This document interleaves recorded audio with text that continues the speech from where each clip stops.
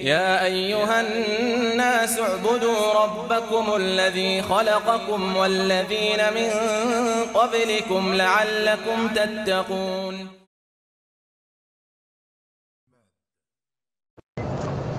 توجيهي له أن يكثر من ذكر الله. فإذا دخل البيت يسمي ويذكر الله. ويغلق الأبواب. إذا دخلوا سمى أغلق الأبواب. ويكثر من قراءة سورة البقرة في البيت. فأخذ سورة البقرة بركة. وهي تطرد الشياطين. ويخرج الملاهي من الأغاني والموسيقى. وما حرم الله من بيته. قد يكون عنده تماثيل. على أنها زينة. صورة ثعلب صورة قط صورة كلب. قد يكون هناك صور معلقة. يخرجها جميعا من بيته.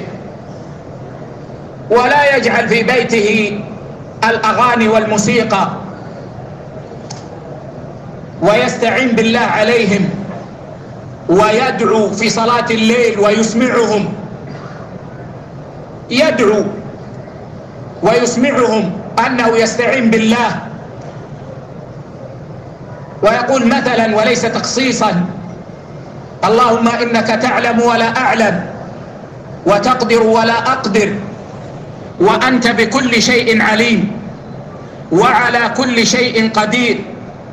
اللهم إن علمت أن في بيتي جنا اللهم فإن لم يرفعوا أذاهم عني فأحصهم عددا واقتلهم بددا ولا تغادر منهم أحدا يسمعهم هذا فإن الجن من أجبن المخلوقات.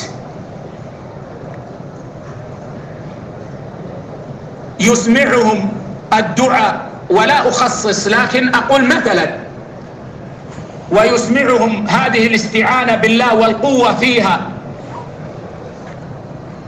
ويسلم من شرهم إن شاء الله عز وجل. نعم.